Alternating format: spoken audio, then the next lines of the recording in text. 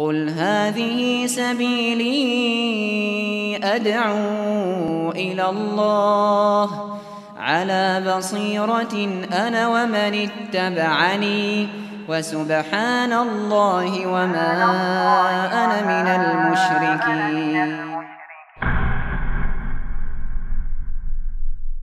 Bismillahirrahmanirrahim. Assalamualaikum warahmatullahi wabarakatuh. الحمد لله الذي هدانا لهذا وما كنا لنهتدي لولا أن هدانا الله. لقد جاءت رسل ربنا بالحق ونودوا أن تلكم الجنة أورثتموها بما كنتم تعملون. وأشهد أن لا إله إلا الله وحده لا شريك له. وأشهد أن محمدا عبده ورسوله. اللهم صل على نبينا محمد وعلى آله ومن تبعهم بإحسان إلى يوم الدين. Allahumma inna nas'aluka imanan la yartad wa na'iman la yanfad wa murafaqata Muhammad sallallahu alaihi wasallam fi a'la jannatil khuld. Baik uh, Bapak dan para peserta kajian kitab tauhid yang mungkin-mungkin senantiasa dirahmati dan diberkahi Allah Subhanahu wa taala. Kita bersyukur pada Allah atas nikmat dan karunia yang telah Allah anugerahkan pada kita sekalian sehingga kesempatan kali ini kita kembali melanjutkan pembahasan dari kitab tauhid. Sekarang pada sesi yang ke sesi yang ke-10 bab ke-31 halaman 130 biasa pagi ini kita kajian bulughul maram. Sementara kita membahas terlebih dahulu kitab tauhid. Jadi setiap uh, kajian takmir akan dibahas kitab tauhid seperti ini. Baik saat ini kita membahas amalan-amalan hati yang nantinya amalan hati seperti ini bisa dihukumi syirik. Yaitu Syekh Muhammad bin Abdul Wahab sengaja membawakan bab ini ada cinta kepada Allah, kemudian takut kepada Allah, lalu nanti tawakal kepada Allah, merasa aman dari siksa Allah dan putus asa dari rahmat Allah sampai pada sabar terhadap takdir Allah, semua itu berkaitan dengan amalan-amalan hati.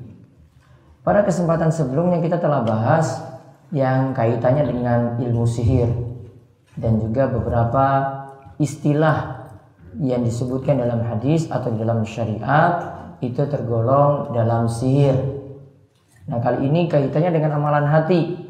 Jadi beliau bahasanya itu luas sekali, mulai dari uh, bahasanya yang sederhana, memakai jimat, memakai rajah kemarin, terus ada rukia, lalu beralih kepada pembahasan berdoa pada selain Allah, minta perlindungan pada selain Allah, Lalu beralih lagi pada pembahasan berlebihan pada orang soleh, ya berlebihan pada orang soleh, termasuk berlebihan kepada kubur, juga berlebihan kepada kubur orang soleh. Yang kemarin awal pembahasan kita dilarang menjadikan kubur itu sebagai aid. Apa yang dimaksudkan menjadikan kubur sebagai aid? Perayaan. Apa maksudnya perayaan? Diziarahi. Diziarahi apa? Ulang-ulang. Nggak boleh diziarahi, nggak boleh ziarah kubur. Nah, apa sih? Nggak boleh menziarahi khususkan waktu tertentu atau berulang-ulang datang ke sana. Ada punya iktikad atau punya keyakinan-keyakinan tertentu, ada amalan-amalan tertentu ketika mengunjungi kubur tadi. Nah, ini biasanya lebih istimewa lagi. Ini kalau dilakukan pada kubur kubur yang istimewa. Ya ada kubur-kubur yang istimewa. Ada kubur wali ada kubur orang soleh ada kubur kiai yang dulu dihormati yang diagungkan. Nah itu lebih istimewa lagi. Nah lalu beralih tadi pada permasalahan sihir sampai terakhir kita bahas ilmu nujum atau perbintangan. Nah sekarang Syekh Muhammad bin Abdul Wahab ya membawakan lagi bahwasanya Ada yang menyembah selain Allah, menyembah berhala-berhala, menyembah patung, menyembah pohon, menyembah kubur. Itu karena disebabkan cinta. Ya disebabkan cinta yang bernilai ibadah. Cinta biasa saja enggak? Boleh enggak cinta pada istri? Boleh enggak? Boleh. Cinta pada anak boleh atau tidak? Boleh. boleh. Kalau pada istri orang? Enggak boleh. Oh enggak boleh. Kisro. Kisro. Nah. Berarti ada yang dibolehkan ada yang enggak boleh kan? Iya. Nah di sini ada yang dikhususkan cuma cinta ubudiyah, cinta yang bernilai ibadah. Maka ini cuma boleh untuk Allah. Apa maksud cinta yang bernilai ibadah di sini Bapak-bapak sekalian? Cinta ini nanti dapat mengantarkan kita untuk beribadah dengan baik. Karena cinta ini mahabbah, cinta ini yang jadi faktor kita itu mau beribadah pada Allah. Ya, karena kita punya cinta kepada Allah, kita dahulukan ibadah daripada kepentingan-kepentingan dunia. Karena cinta kepada Allah, kita dahulukan sholat di awal waktu, dibandingkan dengan urusan dengan konsumen, dengan pelanggan, seterusnya. Karena cinta kepada Allah, kita itu dahulukan uh, ibadah sholat seperti sholat asar daripada sibuk mengurus pakan, mengurus ngarit, mengurus sapi dan seterusnya. Kalau kita dahulukan kepentingan ibadah tadi, berarti kita telah mendahulukan mementingkan cinta kepada Allah. Namun kalau sebaliknya, waduh, ya nanggung ini. Ya nanggungnya sampai jam setengah enam. Ya, nanggungnya sampai jam setengah enam. Ada nggak yang nanggung seperti itu? Banyak. Oh banyak. Undur-undur terus kan? Mangkatnya jam siji. Ya kan? Mangkat golepakan jam siji. Terus undur-undur terus wah hujan terus sudah di sana juga dia pakai alasan wah nggak bisa nggak bawa sarung nggak bawa ini nggak bawa ini. Ya jelas memang dia nggak punya niatan untuk ibadah. Dia dahulukan kepentingan dunia dibandingkan dengan urusan ibadahnya. Nah ini namanya dia dahulukan cinta kepada dunia daripada cinta kepada Allah. Jadi cinta ini jadi faktor mendorong kita itu untuk mau ibadah. Sebagaimana kalau orang itu cinta gandrung pada dunia, apa pun nggak dipedulikan. Coba lihat anak-anak remaja itu, kalau sudah gantung dengan motor, dengan game, ya ada yang dengan band, coba itu nggak pedulikan kata orang tua. Ya toh, nggak pedulikan kata orang tua. Orang tua mau ngomong kayak gini dia nggak pedulikan. Ya, pokoknya saya mau nurut ini, mau nurut untuk tadi bisa pinter main band, mau pinter main game, mau bal-balan, mau volley, mau seterusnya. Ya, dia pentingkan yang dunia terlebih dahulu. Nah ini tanda bahwasanya kecintaannya kepada Allah itu kurang. Maka cinta kepada Allah itu akan mengantarkan seorang untuk mau beribadah pada Allah. Makanya ini disinggung oleh Syekh Muhammad bin Abdul Wahab di sini. Lihat itu orang-orang musyrik, kecintaannya itu kepada Allah dengan kecintaannya kepada selain Allah itu terbagi. Terbagi dua. Ya, beda di sini kita tidak usah bahas kalau cintanya murni pada selain Allah nggak usah kita bahas. Itu sudah jelas syirik itu. Namun ini kita bahas cinta yang terbagi dua. Ya, cinta yang terbagi dua. Ibaratnya kalau orang itu selingkuh, itu cintanya terbagi enggak? Oh bisa jadi dengan selingkuhannya itu cintanya 100%. Iya kan? Namun ada yang terbagi. Ini pitung polo, iki telung polo. Ah, bojoku wes tua. Ya. Iya toh, yang ini sih nom ya yang nom ini wah dimanja-manjakan. Ya ditelepon dibeles sedikit wah mas saya ini butuh ini. Wah usaha untuk dapat itu. Ah padahal cuma di dipermainkan saja mau ikuti seperti itu. Banyak kasus perselingkuhan kayak gitu loh. Ini bukan saya bahas yang nom nom loh. Ini wes sepuh wes duwe anak. Wes duwe putu mah Wes dua anak, wes dua putu. Ini orangnya cerita dengan saya langsung. Ya. Jadi pas bahas di Wonosari masalah perselingkuhan ternyata di mana-mana akhirnya terungkap semua ini. Oh ini yang ini selingkuh, yang ini selingkuh, yang ini curhat pada saya. Waduh, saya itu numpuk di sini pikirannya sudah nang, sudah mikir jamaah, sudah mikir ini orang selingkuh mana tambah repot. Berarti masalahnya banyak kan? Berarti di Gunung Kidul nih? Berarti bukan masalah syirik saja ini. Wah syirik sudah pakai pelet juga, sudah pakai sosok, tambah lagi selingkuhnya oke. Istri satu di sana, dua di sana, tiga di sana, empat di selatan. Ya, parah seperti itu. Padahal kita sepuh ini loh. Terus kok bisa lihat ini semua? Iya pakai obat kuat lagi. Viagra. Viagra. Pak, kok harus sebut loh. Harus sebut merek ya. Viagra. Udah, paham ini ya? Jadi kita bahas cinta kenapa? Karena cinta ini akan jadi faktor penting mendorong kita untuk ibadah. Nanti tambah lagi dengan takut lagi. Saya takut pada siksa Allah, maka nanti akan dia juga beribadah. Jadi cinta dan takut ini ada. Orang itu akan beribadah dengan baik pada Allah. Nah sekarang kita bahas cinta pada Allah. Beliau bawakan firman Allah dalam judul bab. Langsung beliau bawakan ayat Al-Baqarah 165. Monggo.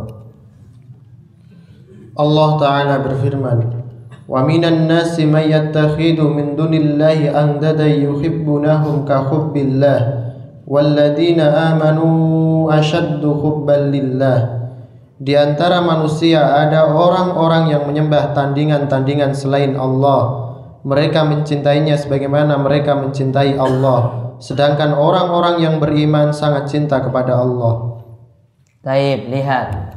Di dalam ayat ini diterangkan tentang cintanya orang musyrik dan cintanya orang beriman. Perbedaan cintanya orang musyrik dan cintanya orang beriman. Wa minan nasi may min dunillahi andada yuhibbunahum ka hubbillah walladzina amanu asyaddu hubbalillah. Di antara manusia itu ada yang menjadikan sesembahan selain Allah andat sebagai tandingan-tandingan bagi Allah. Nah, di sini kalimatnya. Yuhibbunahum kahubbillah. Mereka mencintainya, yaitu mencintai sesembahannya sebagaimana mereka mencintai Allah. Ini ingat kalimatnya ya. Mereka cinta sesembahannya ini, cinta berhalanya ini kalau orang musyrik, cinta berhalanya ini, cinta kuburnya ini, sebagaimana cintanya kepada Allah. Berarti dia cinta pada Allah enggak? Cinta. Namun ada juga kecintaan dia kepada selain Allah. Berarti cintanya terbagi enggak? Cintanya terbagi. Ya, cintanya terbagi dua. Bisa jadi 50-50, 50-50. Bisa jadi 60-40. Gak disebut di sini. Bisa jadi 70-30. Namun kalau dalam kalimat ini dikatakan sama. Oh berarti 50-50. Kalau yang terjadi misalnya lebih kecintaannya kepada sesembahannya lebih daripada cintanya pada Allah. Oh berarti lebih parah. Kalau kecintaannya itu sampai 100% kepada selain Allah, cintanya pada Allah tidak ada sama sekali. Ibadahnya akhirnya kepada Allah tidak ada sama sekali. Oh berarti syiriknya lebih parah. Ini baru 50-50 loh ini. 50-50 saja sudah termasuk syirik. Bahkan para ulama katakan syirik akbar. Baru 50-50. Apalagi sudah 90 pada selain Allah, 10% pada Allah. Apalagi 100% pada selain Allah, 0% pada Allah. Ada seperti itu. Nah, sedangkan orang beriman di sini Allah bandingkan, adapun walladzina amanu, ah, sedangkan orang-orang yang beriman sangat cintanya kepada Allah. Dia dahulukan cinta pada Allah. Mau tetangga itu omongin dia, dia nggak pedulikan. Saya pokoknya mau ibadah pada Allah. Saya sudah cinta pada Allah.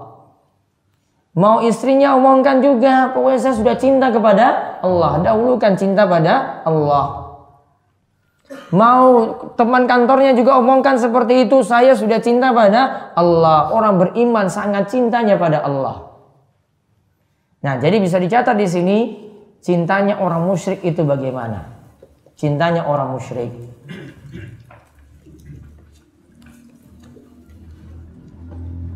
Cintanya orang musyrik satu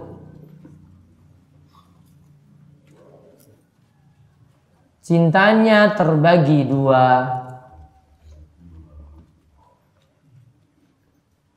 Cintanya terbagi dua.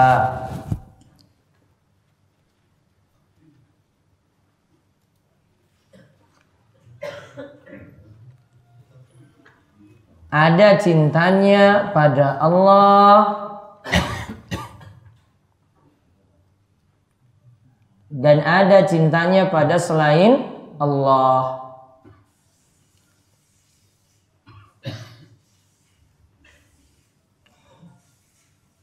Sehingga misalnya ada ini karena mengikuti ritual pesugihan, pokoknya karena ada prasyarat-prasyarat dia ikuti apa pun kata misalnya juru kunci itu dia ikuti. Apa istilah selain juru kunci itu? Misalnya ada kubur-kubur keramat, terus ada orang yang khusus nangani situ. Hah? Yang biasanya kasih syarat-syarat. Juru kunci, betul? Nah, ini yang dulu pernah ikut pesugihan, juru kunci ya, betul ya? Nah. Maka kalau diberi syarat apa pun itu, pokoknya, wah, bapak pingin sugih, diturutin punya syaratnya. Suruh nyembelih ayam, ayam apa? Ayam hitam, pokoknya diturutin. Suruh suruh bawa duit sekian, pokoknya diturutin. Suruh ya lakukan amalan puasa, ada istilahnya puasa mutih kek, ada puasa apa kek, diturutin. Ya, pokoknya untuk dapat apa yang diinginkan tadi, pingin sugih. Ya, cintanya terbagi. Pokoknya kalau ini walaupun syirik ah sudah saya turutin, walaupun juga dia mengerjakan sholat. Jadi di sini tanda di sini apa? Orang musyrik jangan kira jenengan kira itu orang musyrik itu nggak pernah sholat, sholat juga sama. Namun cintanya terbagi dua. Mungkin dia jadi imam masjid juga loh. Mungkin kalau ngisi ceramah pintar daripada jenengan ngisi ceramah. Ya, ada. Dia mungkin lebih pintar daripada masalah itu. Mau suruh sholat, masya Allah bacaan Qurannya banyak. Suruh ceramah, wah ceramahnya luar biasa, namun musyrik. Ya, bahkan wis munggah haji nih loh. Itu nggak peduli seperti itu. Pokoknya kalau cintanya terbagi dua seperti tadi, cintanya pada Allah ada, cintanya pada selain Allah juga ada. Cintanya terbagi dua dan cinta ini yang kita maksudkan itu ibadah tadi. Dia mau nurutin sholat, iya dia sholat. Mau nurutin tadi kata juru kunci tadi, dia nurutin juga. Berarti cintanya terbagi dua. Terus yang kedua, kalau cintanya sudah murni pada selain Allah 100%. Kalau cintanya sudah murni pada selain Allah 100%.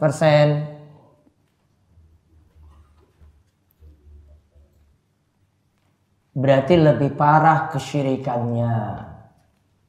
Wong tadi 50-50 saja wes syirik. Apalagi sampai 100 persen. Kalau 100 persen berarti wes ibadah itu sudah nggak penting lagi. Sepenting aku sugih. Mau ada ada tuyul, mau di rumah itu pakai kemenyan-kemenyan untuk dapatkan ya ritual-ritual ini yang harus dipenuhi kemenyan dia nyalakan terus di rumah rumahnya itu bau kemenyan ya sebenarnya untuk masalah ini nanti ada pembahasan sendiri namun ada yang jadikan ini sebagai ritual atau sebagai amalan syarat-syarat nanti pada pada malam Jumat apa seperti itu ada amalan sendiri lagi wah pokoknya diturutin apa kata orang yang ingin membuat dia jadi sugih tadi pokoknya diturutin Oke kalau sudah 100% cintanya pada selain Allah, pada Allah tidak ada lagi.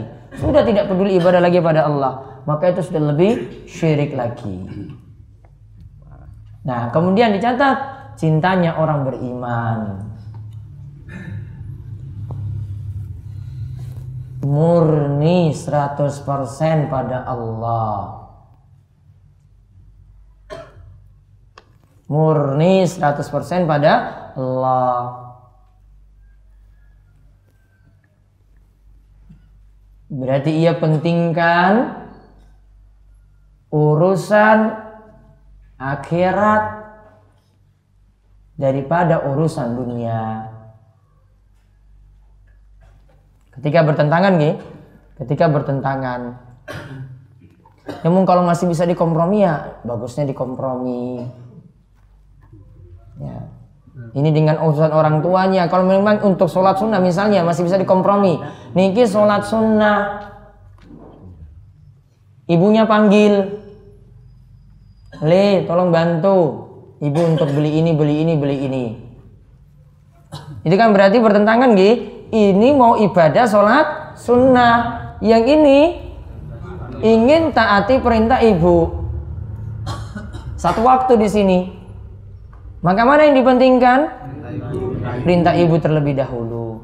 Ibadah ini karena sunnah masih bisa diundur, tidak jadi prioritas. Yang wajib lebih dipentingkan daripada yang sunnah. Yang wajib lebih dipentingkan daripada yang sunnah. Ada juga misalnya, ya sama seperti itu kita ingin dakwah dakwah saya mau dakwah ke oh, pedalaman Papua sana. Ya, pedalaman Papua sana. Namun kalau saya itu pergi jauh di sana, pergi satu bulan, istri nggak makan, anak nggak diurusin, ditinggal. Dan kalau saya pergi berarti nggak ada pekerjaan. Berarti nggak diberi nafkah. Mana yang dipentingkan? Dakwah atau golek nafkah? nafkah. Paham nih ya? Karena cari nafkah itu wajib. Sedangkan di sana ya, mungkin ada yang lainnya lah yang ngurus. Atau bisa terwakilkan dengan yang lainnya. Ini nggak bisa ini. Siapa suruh punya istri? Apalagi sampai papat loh. Oh papat orang sempat? Orang sempat? Ya wis kalau gitu nggak dipaksa kok. Suruh punya lebih daripada satu itu nggak wajib. Ini bapak jangan terlalu banyak ngomong, mau poligami poligami terus. Guruan ini ki orang no bojo nih kok. Ngomong, wae. Iya. Paling nanti piring-piring pecah.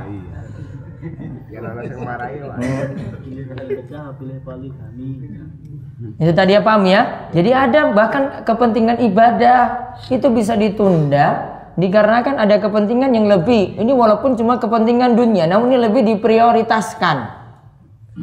Namun kalau ada sesuatu yang urgent, misalnya kita disuruh pergi berjihad, mau alasan apa pun sudah diwajibkan. Jihad yang paling penting itu, apalagi kalau sudah sudah menjadi, saya selalu singgung itu, lebih penting ini bukan urusan rakyat-rakyat seperti ini. Ada yang lebih pergi jihad itu urusan tentara itu malah kalau niatannya bagus itu dia jihad-jihad yang benar itu. Jadi tentara itu. Ya. Namun yang kadang Pak tentara itu belum memahami hal ini nih. Coba kalau ngaji. Ini ada nih satu dua di sini ngaji tentara. Nah. Ini kalau ngaji itu paham. Ya. Mereka itu kalau mengikuti hadis-hadis Nabi SAW itu katakan bagi siapa yang menjaga di pos penjagaan kemudian dia mati ketika dia itu menjaga semacam itu itu jadi amal jariah luar biasa. Ya. Pak tentara Pak polisi kan kurang kaji hadis seperti ini. Ya guru, ngerti kerja jaga gitu toh ya. Tunggu gaji gitu toh ya toh nggak, nggak mikir ini. Padahal kalau mau serius itu wah ternyata saya seperti ini jihad juga loh ini. Itu jihad itu Gak usah suruh rakyat-rakyat-rakyat belum tentu disuruh sama pemerintah. Namun disuruh pergi siapa? Itu loh TNI-TNI itu yang disuruh pergi. Itu lebih itu. Kalau niatannya itu benar itu Masya Allah gitu ya. Niatannya itu benar tuh sudah jihad jihad luar biasa itu. Ini ketika dia masuk polisi, masuk TNI, niatannya seperti itu, masya Allah dia serius untuk jaga negara itu. Betul nggak? Betul. Rakyat-rakyat yang belum tentu disuruh pergi, pegang senjata aja belum bisa. Ya, mau suruh perang saja takut sama darah gitu ya yang itu berani Bukan saya kalau lihat orang itu, ayo kita pergi ke Palestina perang. Iya kamu kamu sudah persiapan apa? Imanmu bagaimana? Ya persiapannya sudah per, eh, sudah pernah latihan-latihan seperti itu enggak? Enggak pernah. Ya, terus cuma modal semangat saja. Ya kalau suruh TNI itu apalagi ngaji itu, wow pergi sana itu benar-benar bela mati-matian itu. Jihad kan berarti? Jihad. Itu loh, dahulukan ini. Kalau misalnya sampai disuruh seperti itu, dia korbankan dunia semuanya. Ya, berarti dia membela membela agamanya nantinya. Bela saudara-saudaranya, iya kan? Iya. Sudah pahala luar biasa berarti. Dia dahulukan cinta kepada Allah daripada dunia. Istri dia tinggalkan, harta dia tinggalkan. Seperti itu. Nah, itu yang tadi kaitannya itu secara umum seperti itu dan itu kaitannya tadi dengan ya kita bahas tentang kecintaan orang musyrik. Namun orang beriman apa tadi? Cintanya 100% pada Allah. Berarti Allah itu lebih didahulukan daripada ya untuk urusan dengan Allah, ibadah pada Allah lebih didahulukan daripada urusan-urusan dunia. Nah, ada perincian terlebih dahulu yang perlu dipahami Bapak sekalian tentang perincian cinta. Cinta itu terbagi dua. Yang pertama ada cinta ubudiyah yang bernilai ibadah.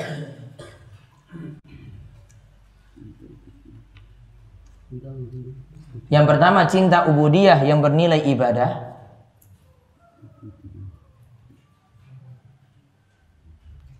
Yang kedua cinta yang bukan dinilai ibadah.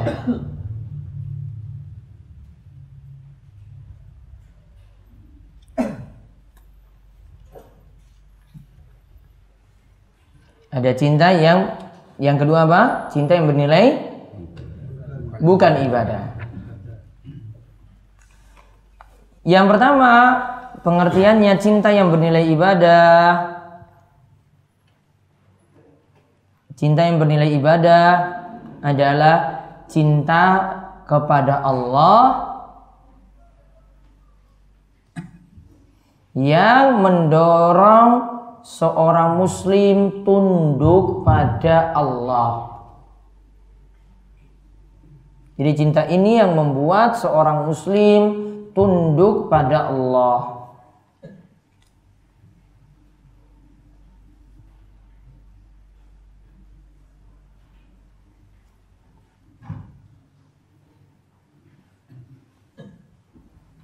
Jadi untuk sujud karena cintanya pada Allah dia sujud untuk sholat karena cintanya pada Allah dia mau sholat.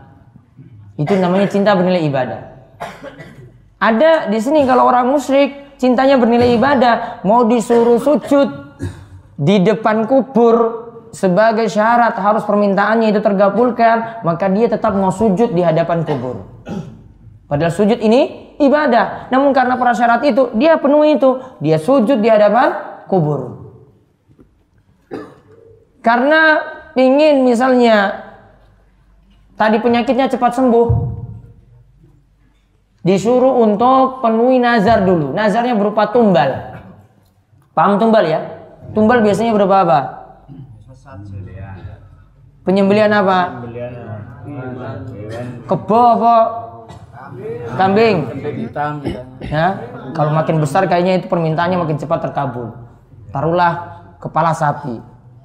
Disyaratkan harus seperti itu. Maka kalau dia itu cintanya kepada selain Allah, maka dia akan penuhi itu.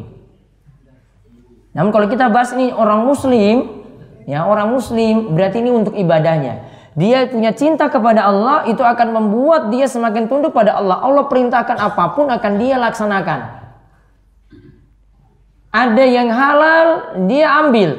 Yang Allah itu haramkan dia tinggalkan. Mau dalam masalah jual beli, mau dalam masalah ibadah, mau dalam masalah ini, masalah itu. Kalau Allah larang, dia manut pokoknya. Wah ini sudah Allah itu larang. Saya cinta pada Allah, maka saya akan manut pada perintah Allah. Nah, sedangkan cinta yang kedua, tadi apa? Cinta yang bukan ibadah. Di sini ada macam-macam. Cinta yang bukan ibadah, ini ada macam-macam. Yang pertama, cinta secara tabiat.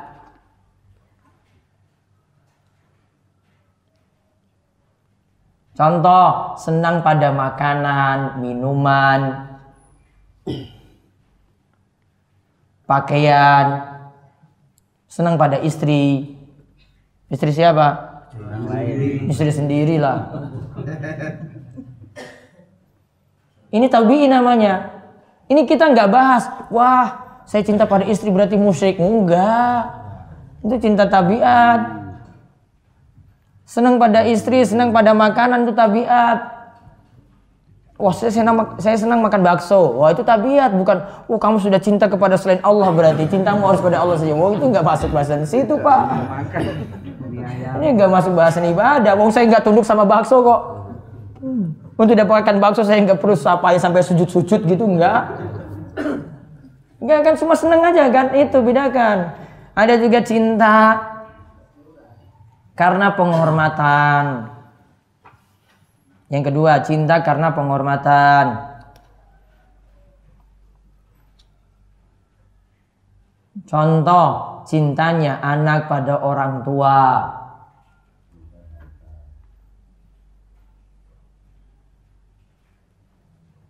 Cintanya anak pada orang tua. Contohnya lagi, cintanya murid pada guru.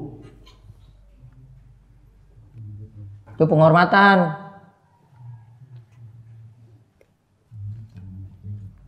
Maka selama di sini bukan nurutin dalam ibadah yang keliru, ya, itu boleh. Anak patuh pada perintah orang tua. Ini sifatnya bukan nilai ibadah di sini. Maksudnya secara murni tadi, bukan seperti sujud, bukan seperti sholat, bukan. Namun ketika anak tersebut dia patuh pada orang tuanya, maka sudah jadi ibadah tersendiri. Dia nurut patuh pada orang tuanya, berbakti pada orang tuanya sudah jadi ibadah ter tersendiri. Dia senangkan orang tua, nurutin orang tua, sudah jadi ibadah tersendiri. Terus yang ketiga, ada cinta kasih sayang.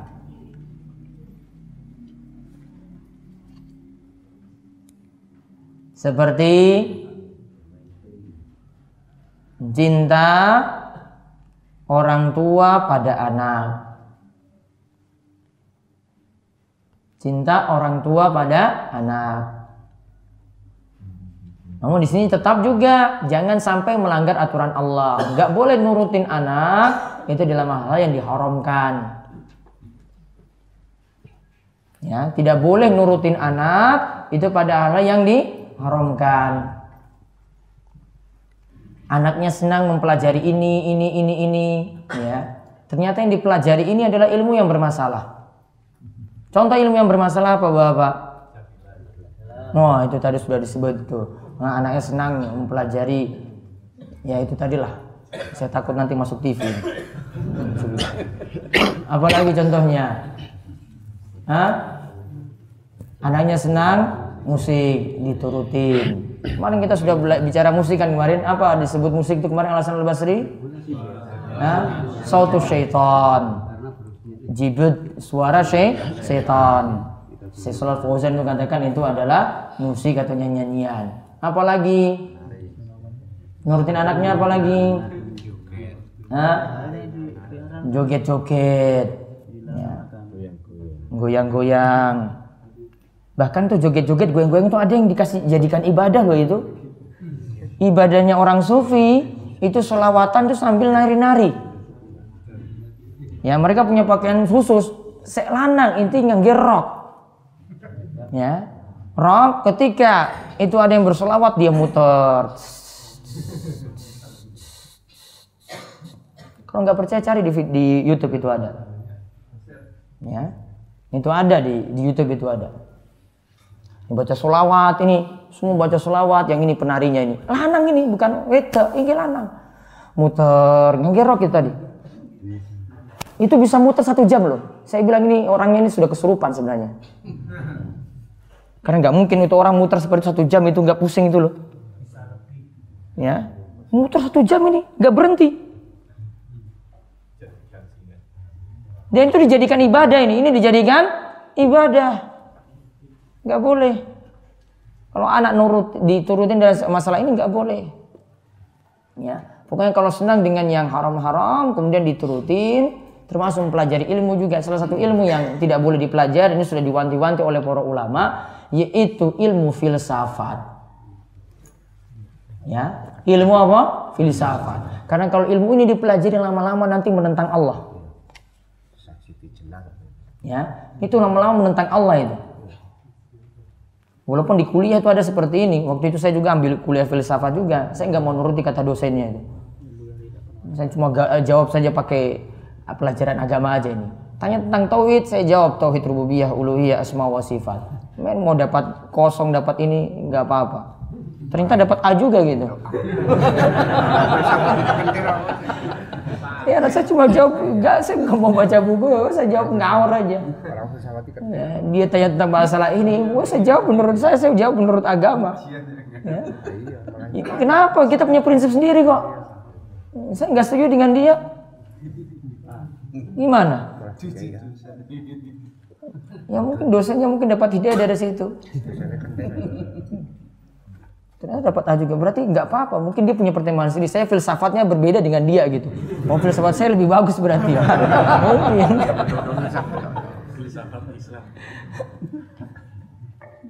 Kalau filsafat Islam nanti masalah lagi. Beda. Ya, itu pemikirannya beda lagi. Nanti bisa jadi liberal, bisa jadi ini, bisa jadi itu, beda. Mendingan gak usah dipelajari. Sudah diingatkan oleh Imam Syafi'i dan yang lainnya itu ilmu bahaya untuk dipelajari. Ini kalau anaknya tuh senang mempelajari ini, nggak diturutin. Apalagi ilmu yang nggak boleh dipelajari? Hah? Apa bapak? Sihir jelas nggak ada universitasnya kan? Yang ada universitasnya. Ilmu apa? Hah? Tata rias. Bisa perempuan pelajari tapi nanti dia setelah lulus cuma untuk suaminya saja dia rias.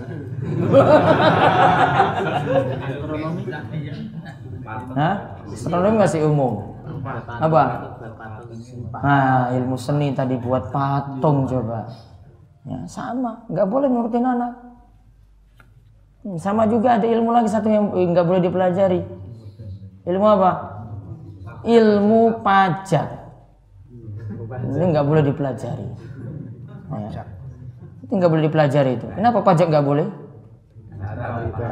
Kenapa? Di, jenengan dizolimi nggak?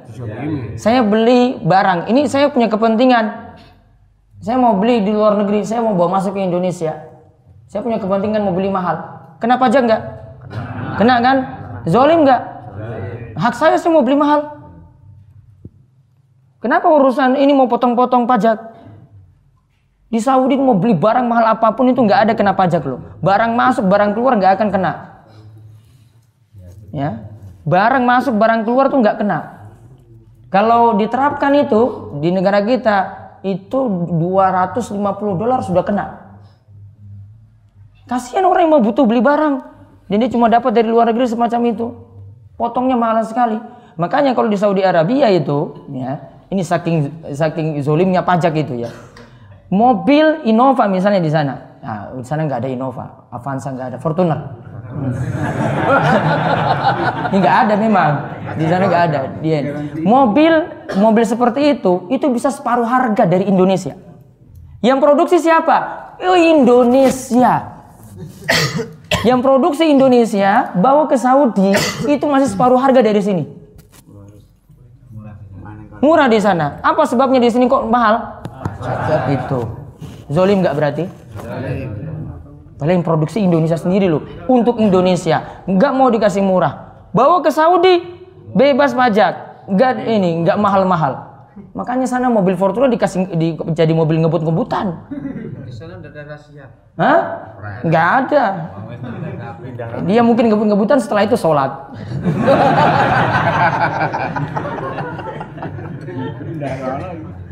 ada tetap lah. Ada rahasia. Anak sana saking nakal-nakalnya pak, itu masih ngerti sholat loh itu. Saking nakal tetap masih masuk masjid. Kalau di sini nakal, wah. Sana saking nakalnya itu, ya saking nakalnya dia mau mau tawuran mau apa, itu tetap kenal masjid. Kalau nggak percaya pergi ke sana itu, lihat anak-anak itu. Dia mungkin pagi-pagi sini, it, it, pakai mobilnya gitu ya, ngebut-ngebutkan pakai mobilnya. Itu zuhur, itu sholat itu. Mereka itu main bola itu nggak pernah main itu pagi-pagi atau sore itu nggak pernah. Main itu setelah jam 11 malam. Sampai lanjut subuh. Main bal-balan itu. Sampai lanjut subuh. Sholat subuh terus tidur. Sampai nanti mau Jumatan. Jumatan baru Jumatan. Ya, sepenting kan sholat dia. Iya kan? Masih sadar sholat. Saking nakal, walaupun nakal coba, sholat tetap ingat loh. Itu. Nggak ada pajak. Saya bilang itu ilmu yang nggak boleh pelajari itu ilmu zolim itu zolimi orang. Sekarang itu saya mau jadi penulis sekarang ini ya. Sampai ada seorang penulis terkenal itu undur diri dari dunia penulisan itu. Ini karena kan pajak. Masa nulis seperti ini pajaknya tinggi sekali. Emangnya punya peran serta untuk nulis sampai mau potong-potong? Orang nulis tuh mikir. Itu curahkan pikiran, dia lembur malam-malam sampai tengah malam. Itu mikir seperti itu, eh dipotong, potong besar. Emangnya pernah punya peran serta apa gitu? Iya kan? Punya peran serta apa? Namun tetap wajib bayar pajak walaupun seperti itu. Terus atau bayar 24. Atau Tunggu, apa itu?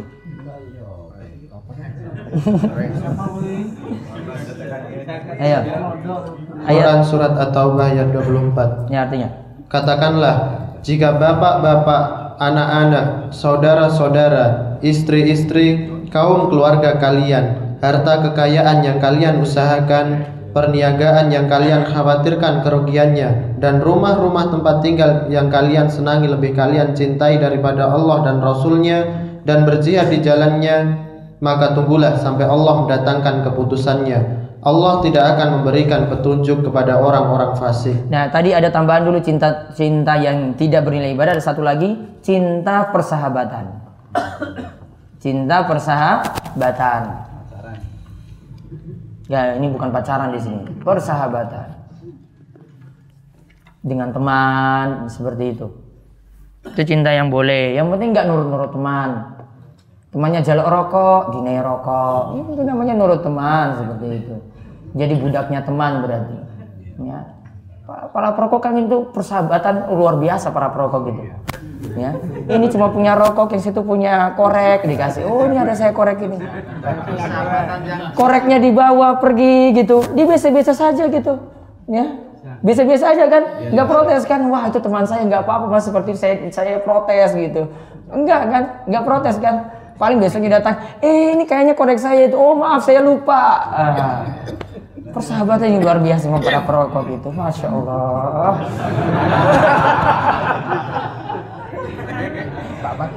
Saling dukung dalam apa ini berarti? Hah? Saling mendukung dalam apa berarti? Dalam maksiat kan berarti kan?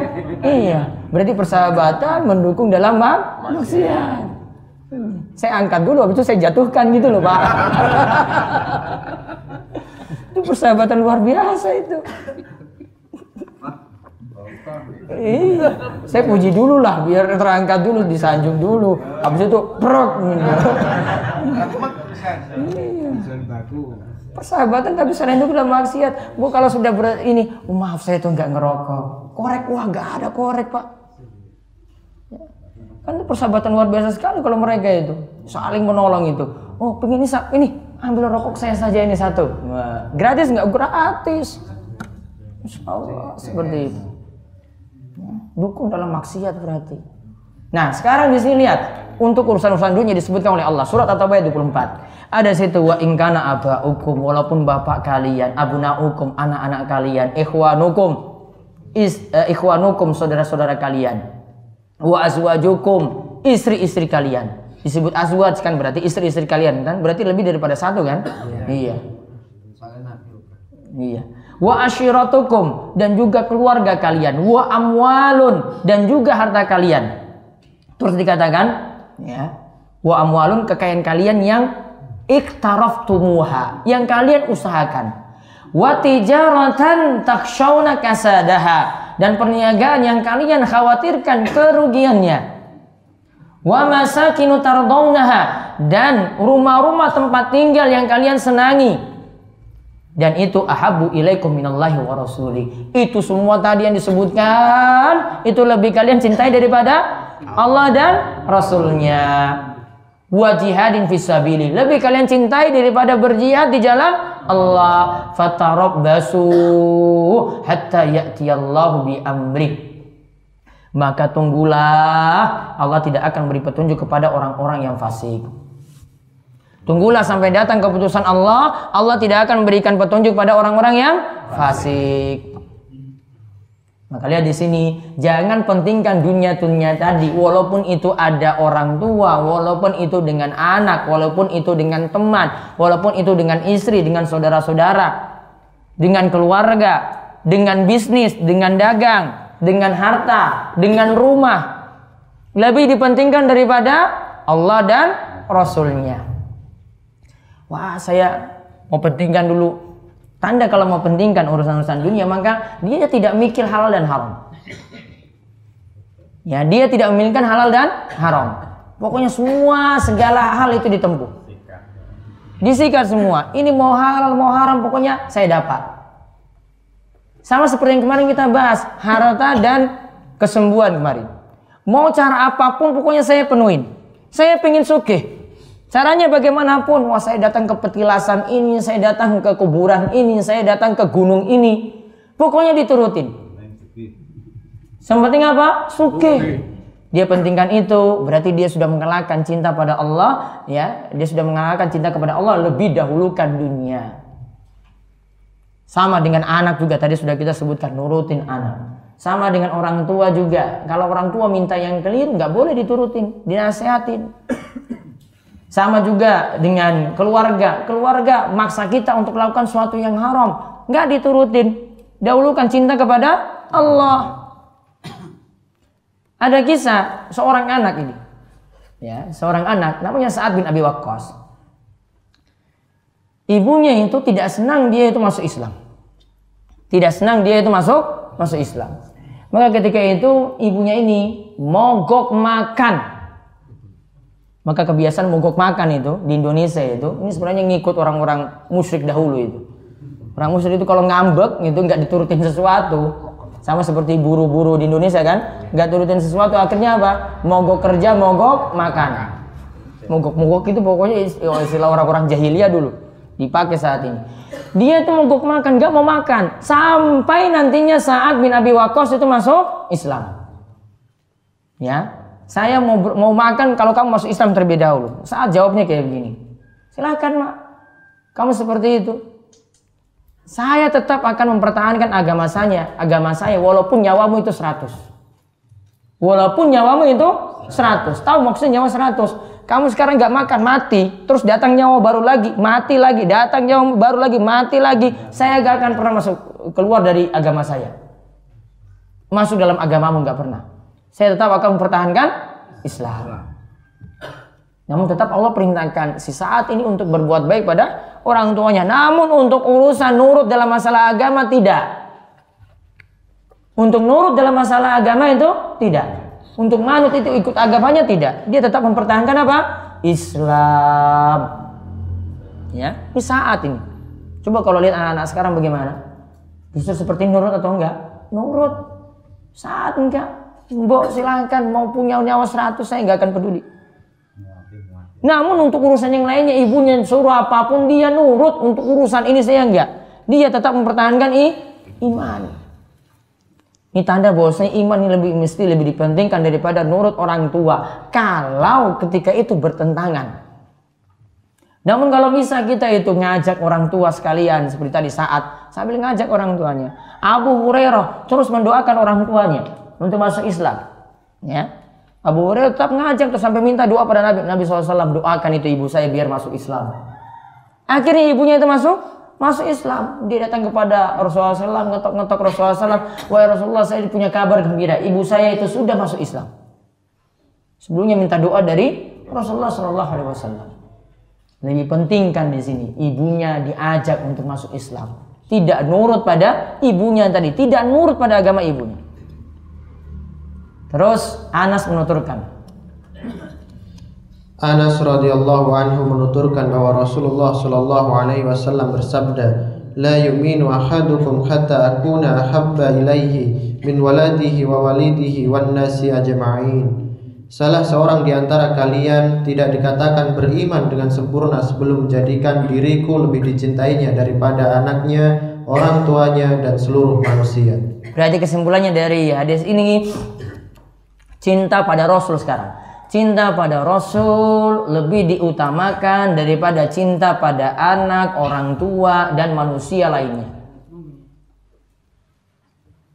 Cinta pada Rasul lebih dipentingkan daripada cinta pada anak, orang tua, dan manusia seluruhnya. Rasul suruh seperti ini, manut pada Rasul. Rasul larang seperti ini, manut juga pada Rasul. Ada bapak-bapak sekalian, dalam Al-Quran nggak ada larangannya. Dalam Al-Quran tuh nggak ada larangannya. Namun dalam hadis itu ada. Tugas kita jadi tiang muslim yang disebut dalam Al-Quran, larangan dalam Al-Quran itu kita ikuti, yang ada dalam hadis juga kita ikuti. Tidak hanya berpatokan pada Al-Quran saja. Karena sebagian kalangan itu punya prinsip, yang ada pada Al-Quran saja saya nurut, kalau Nabi SAW sebutkan larangan tidak mau diikuti.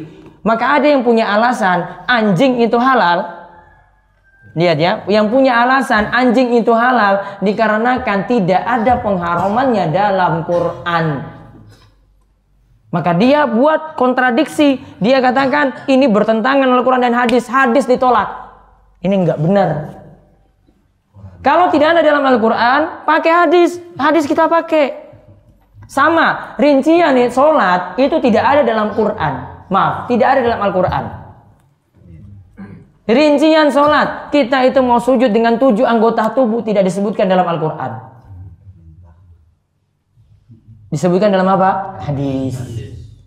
Aku diperintah, kata Nabi SAW, sujud pada tujuh anggota tubuh. Kening dengan hidung. Dua telapak tangan, dua lutut, dua ujung kaki. Perintahnya dalam apa? Hadis.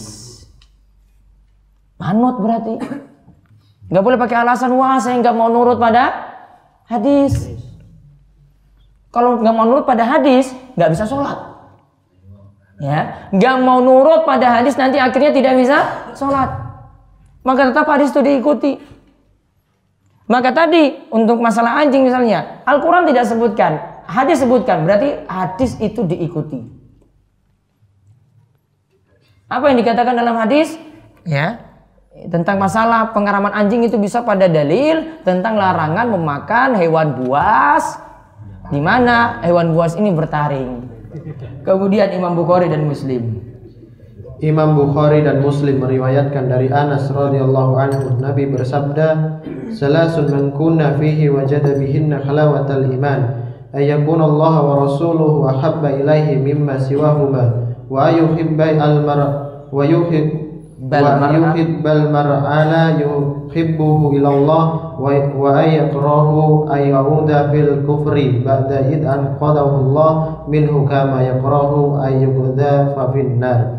ada tiga perkara. Jika perkara-perkara itu terdapat dalam diri seseorang maka dia akan mendapatkan manisnya rasa iman. Tiga perkara itu adalah mencintai Allah dan Rasulnya melebihi yang selain keduanya mencintai seseorang semata-mata karena Allah dan tidak menyukai untuk kembali kepada kekafiran setelah diselamatkan Allah darinya sebagaimana dirinya tidak menyukai sekiranya dijebloskan dalam neraka. Berarti ada tiga perkara yang membuat kita itu merasakan manisnya iman. Ini catat penting ini bapak-bapak. Tak berikan nomor di situ. Satu, mencintai Allah dan Rasulnya. Mencintai Allah dan Rasulnya melebihi yang lainnya. Mencintai Allah dan Rasulnya melebihi yang lainnya. Ini tadi apa judulnya tadi? Merasakan manisnya iman. Berarti iman itu ada manisnya. Ada kenikmatannya. Ya, iman itu ada manisnya, ada kenikmatannya. Yang pertama, mencintai Allah dan Rasulnya lebih daripada selainnya. Daripada tadi anak, daripada orang tua, daripada istri, daripada saudara, daripada harta, daripada kekayaan, daripada bisnis, daripada rumah. Dia lebih pentingkan cinta pada Allah dan Rasulnya. Yang kedua apa? Yang kedua bahasa Arabnya di sini ayakunallahu wa rasul ahabu ilaihi mimma siwahuma wa ayuhibbul mar'a wa yuhibbal mar'a la yuhibbuhu illa lillah mencintai yang lainnya karena Allah mencintai yang lainnya karena Allah. Ya, mencintai yang lainnya karena Allah. Berarti dia pakai standar ketakwaan. Ah, ini bukan karena teman saya itu suki, saya temanan temanan dengan orang suki, bukan. Lihat akhlaknya bagus. Wah, ini akhlaknya bagus, saya juga pengen bagus seperti dia. Dia teman. Ya, itu namanya mencintainya itu standarnya karena Allah. Beda kalau standarnya itu dunia. Dia nggak punya maka saya jauh dari dia. Dia nggak punya harta saya tinggalkan dia. Yang ketiga apa? Tidak senang kembali lagi dalam kekufuran dan kemaksiatan. Tidak senang kembali lagi dalam kekufuran dan kemaksiatan. Alias apa Bapak? Tobat. Tobat berarti nggak pingin balik-balik lagi. Dulu itu selingkuh. Ya yang selingkuhan yang ngebel lagi. Mas gimana kabarnya? Oh saya nggak mau balik lagi sama kamu. Saya tobat. Dulu punya mantan pacar ya dulu punya mantan pacar. Kalau memang mau tobat nggak hubungan-hubungan lagi. Orang disimpan nomore orang temanan yang Facebook orang duwe WA dibusak kabeh. Karena biang keladi nanti itu? Biang masalah. Wah iki ono nomornya coba tak bel ya. Ya tanya dulu kabarnya gimana dik? Kabarnya dik? Wis duwe anak piro? Si seneng ora ora aku. Wah seneng apa ora? Ya Allah. Mungkin-mungkin lagi kan berarti? Pingin balik lagi. Tanda dia rasakan lezatnya iman. Gak mau balik-balik lagi kepada maksiatnya dahulu. Gak mau balik-balik lagi kepada kekufurannya dahulu. Kata Nabi SAW di sini, sebagaimana Allah telah menyelamatkan dia juga dari neraka. Dia nggak senang balik lagi. Ya, ini makanya yang masa-masa lalu kalau ingin ditinggalkan, tinggalkan benar-benar tinggalkan semua.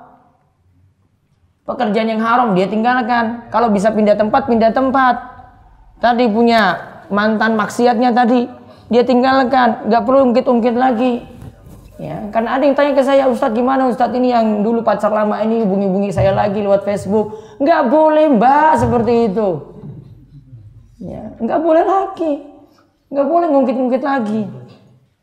Ya, jadi unfriend, di blog, ngapain dengan dia? Wong saya sudah punya istri, sudah punya anak. Ya, nggak boleh balik-balik lagi. Terus dalam riwayat lain. Dalam riwayat hadis yang lain dikatakan la yajidu ahadukum halawatal iman hatta seorang tidak akan mendapatkan manisnya iman sampai ya seorang tidak akan mendapatkan manisnya iman. Kalau di atas tadi seorang tidak akan mendapatkan manisnya rasa iman. Terus Ibnu Jari meriwayatkan dari Ibnu Abbas dia mengatakan ya dibaca langsung barang siapa cinta? Barang siapa cinta dan benci hanya karena Allah berteman dan memusuhi karena Allah sesungguhnya pertolongan Allah itu diperoleh dengan demikian itu Seorang hamba tidak akan bisa merasakan kenikmatan iman walaupun banyak melakukan sholat dan puasa sampai dirinya berbuat demikian. Sampai dirinya berbuat demikian berarti apa? Dia cinta dan benci hanya karena Allah.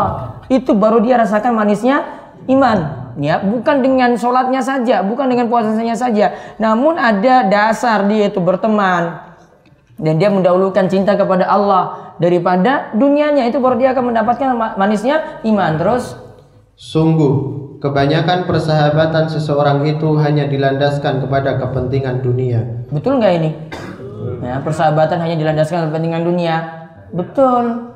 Terus persahabatan Persahabatan yang demikian itu tidaklah bermanfaat bagi mereka. Nah, terus tentang firman Allah, wa taqatta'at bihumul asbab dan putuslah segala hubungan antara mereka sama sekali. Ibn Abbas menafsirkan bahwa maknanya adalah kasih sayang. Cinta tidak ada bermanfaat lagi nanti di akhirat kecuali cinta yang didasarkan karena cinta pada Allah. Kandungan bab. Kandungan bab 1 Tafsir surat Al-Baqarah ayat 165. Dua. Dua. Tafsir surat Al-Bara'ah ayat 24. Tadi sudah disebutkan wa minan nasi mayattakhidhu tadi cintanya murni pada Allah, ada cintanya 50-50 cintanya orang musyrik. Yang Al-Bara'ah tadi, Al-Bara'ah itu nama lain surat apa? At-Taubah. Mana sudah disebut. Terus tiga. Tiga. Kewajiban untuk lebih mencintai Rasulullah Shallallahu Alaihi Wasallam daripada diri sendiri, keluarga dan harta benda. Cinta Rasul lebih dahulukan daripada diri sendiri, keluarga dan harta benda. Contoh-contohnya tadi sudah disebutkan. Empat. Empat, pernyataan tidak beriman dalam hadis di atas bukan berarti keluar dari Islam, tetapi keimanannya kurang sempurna. Nah, tadi katakan tidak beriman kan? Tidak beriman seseorang yang dikatakan tidak beriman la yu'minu ahadukum hatta akuna hab- ahabba ilaihi min waladihi wa walidihi wan nasi ajmain. Terus yang keempat, yang kelima. Lima, iman memiliki rasa manis, akan tetapi ada orang yang bisa merasakannya dan ada pula orang yang tidak bisa merasakannya. Iman memiliki rasa apa? Manis. Ada yang orang rasa nikmat ketika berada di atas iman, dia rasakan tenang sekali. Kalau dia maksiat, dia gelisah terus. Iya kan? Iya, gelisah terus. Walaupun mungkin dia ah, dengan selingkuhannya ini dia dapat nikmat, itu nikmat sesaat. Setelah itu dia dihantui itu. Galau ini, wah dikejar-kejar nanti ketahuan bagaimana. Orang maksiat seperti itu. Yang keenam, Enam, ada empat amalan hati sehingga seseorang bisa meraih kemenangan dari Allah dan merasakan kenikmatan iman. Nah itu yang tadi disebutkan dalam hadis terakhir dari Ibnu Jarir. Terus tujuh. Tujuh, sahabat memahami realita yang terjadi di mana persahabatan yang ada pada umumnya hanya dilandasi oleh kepentingan duniawi. Persahabatan hanya dilandasi kepentingan duniawi. Harusnya dilandasi apa tadi? Takwa, dilandasi iman. Terus yang kedelapan.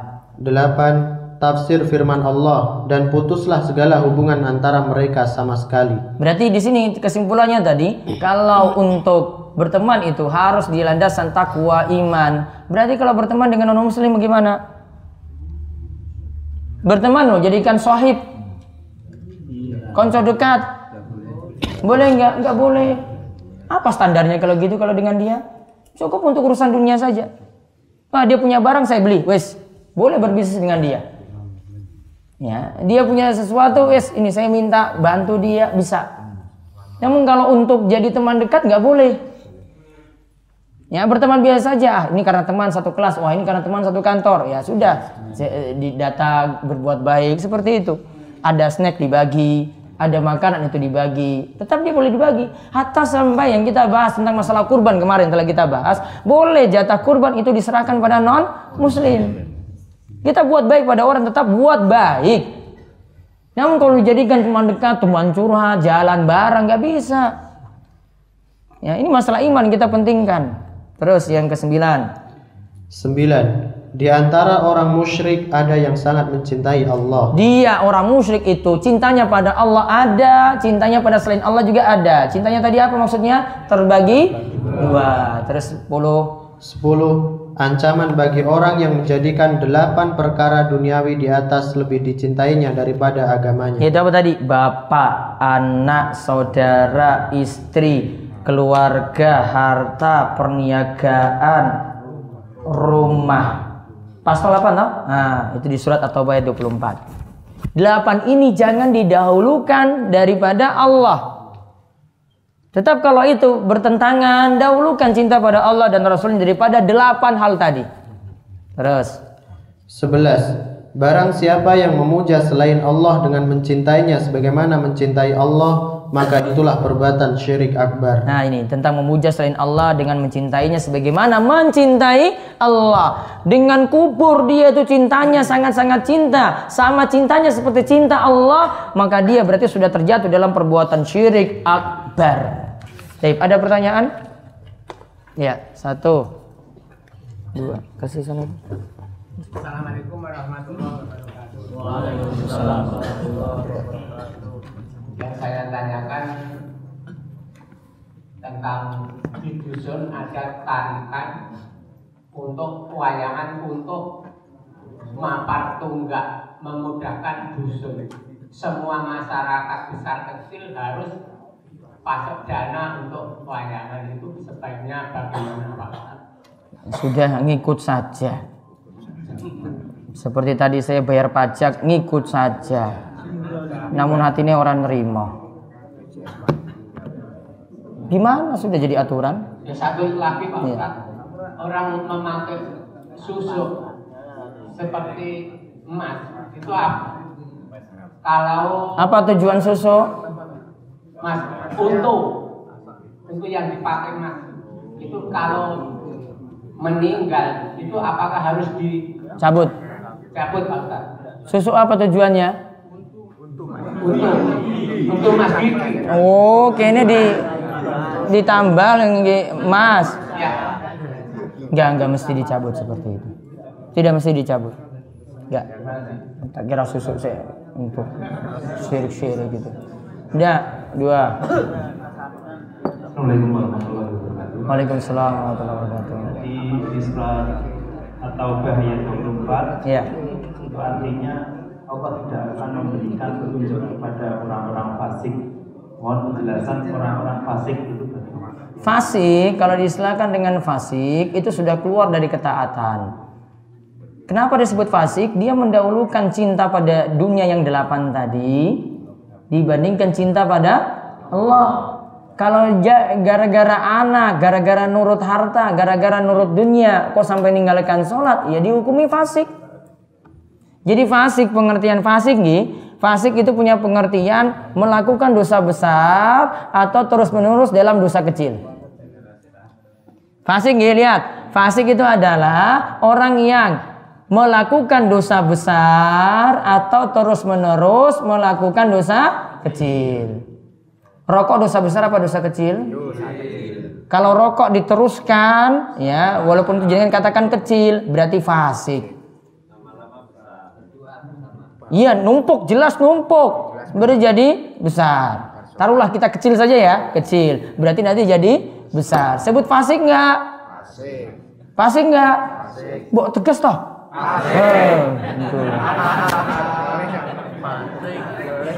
Fasik gitu. Boleh nggak orang fasik jadi imam? Coba, berani nggak ngomong nggak boleh?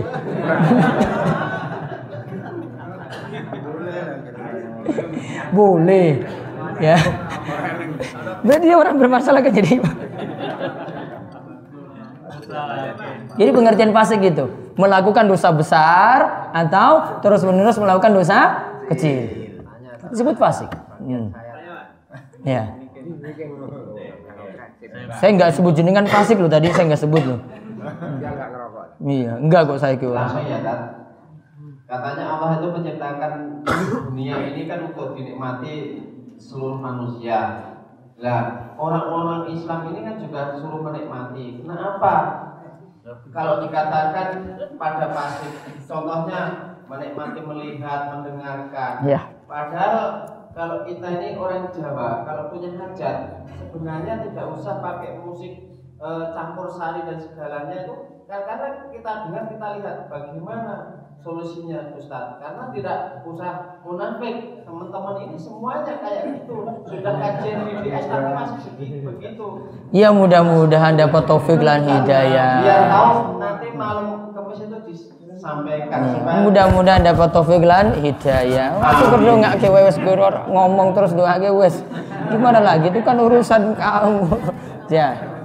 Langsung mohon Pak ya.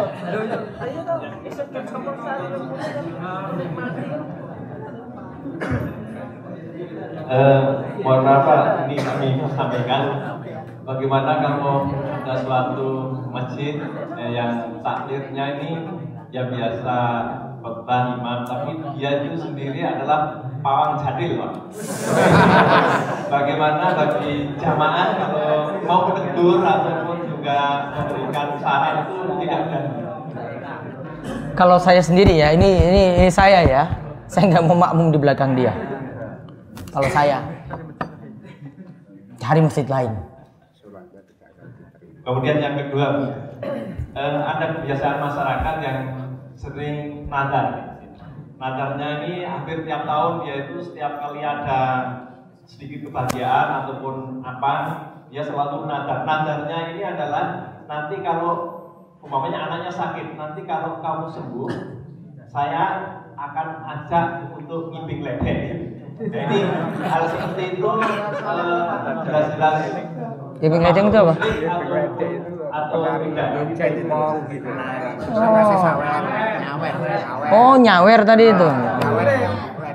Nazar tidak boleh untuk tujuannya maksiat, tidak boleh wujudnya untuk mewujudkan maksiat nggak boleh. Ya, tadi berarti kalau anaknya sembuh nanti dia nyawer kan berarti? Nggak boleh. Ya, nggak boleh nazar itu dalam maksiat tidak boleh. Cuma ketaatan. Ini. Rububiyah, rububiyah dan asma wa sifat. Itu ada yang satu ustadz tuh yang menafikan hal tersebut sedangkan menganggap itu mengang- menganggap hal itu kayak semacam eh, apa namanya trinitas kayak gitu. Bagaimana? Ma- Trinitas itu kita mengakui Bapak Putra Roh Kudus. Bilang Ustadz itu pelajari baik-baik Bapak Putra Roh Kudus itu sinten. Bapak Putra Roh Kudus itu Nabi Isa dijadikan bagian dari yang tiga. Bapak Putra Roh Kudus. Dia nggak pernah tinggal di Nasrani sih. Ya. Bapak Putra Roh Kudus apa keyakinannya? Saya menganggap Nabi Isa sebagai Tuhan, sebagai putra berarti anak, sebagai Roh Kudus berarti seperti Jibril, nyampaikan wahyu, tiga terus rangkap. Kalau Trinitas pada rububiyah uli asma wa sifat nggak seperti itu, kurang paham, cuma bisa memfitnah, nggak belajar, nggak mau kaji, nggak mau buka-buka buku, cuma sebar fitnah aja. Suruh ba- banyak belajar baca buku. Ya, saya yakin itu referensinya kurang. Dan satu lagi Ustaz. Ustaz tadi malam menyebutkan bahwa kalau turunnya hujan itu Rasulullah SAW pernah copot baju Ustaz. Iya. Itu apa maaf kelihatan pusatnya atau gimana? Enggak berarti. Cuma copot baju enggak berarti sampai pusar ke bawah enggak. Iya. Dan itu dilakukan Rasulullah SAW karena berkah hujan yang baru diciptakan oleh Allah Subhanahu Wa Taala dari langit. Hah? Rasul lakukan ini karena nggak pernah lihat hujan, nggak seperti kita. Kita itu bulak balik hujan turun terus. Iya kan? Orang Arab itu satu tahun itu baru merasakan hujan satu kali loh. Saat ini bisa diamalkan Ustaz? Ya, jenengan biasa saja kan dengan hujan kan? Orang Arab itu, ya, saya jelaskan ya orang Arab. Orang Arab itu hujan satu tahun itu baru satu kali turun.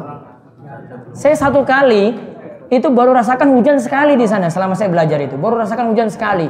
Langsung sekolah libur. Raja turunkan ini keputusan untuk sekolah besok libur. Soalnya jalan-jalan banjir, padahal hujannya baru hujan gerimis. Kalau saya bilang itu hujan gak deras saya bilang baru hujan gerimis sekali, jalan-jalan banjir. Soalnya nggak ada selokan untuk nampung air, air tergenang di jalan. Mereka nggak pernah mikir selokan, ngapain mikir selokan? Pun nggak pernah hujan.